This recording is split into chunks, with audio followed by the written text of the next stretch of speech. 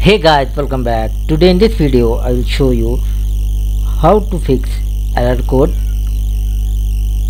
0 by 808 60010 something went wrong on Microsoft app in your Windows PC and laptop.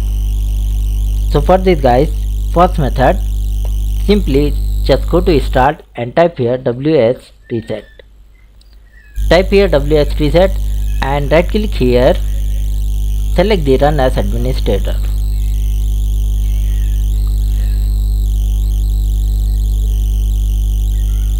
You need to wait here guys. Hopefully guys after this it will fix your problem.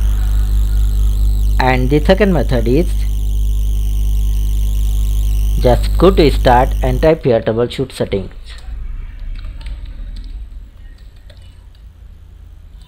Select the troubleshoot settings select here other troubleshooter.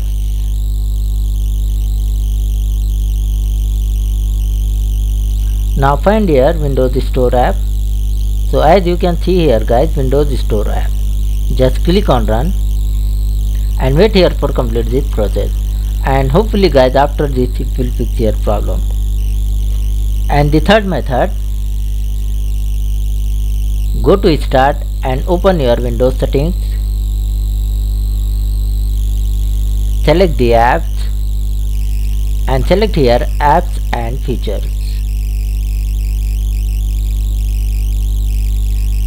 Search here guys. Microsoft Store.